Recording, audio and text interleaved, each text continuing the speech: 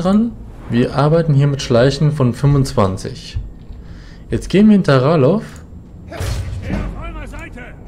und hauen einfach ab und zu ihm einen hinten drauf. Und ihr seht, wie schnell das geht.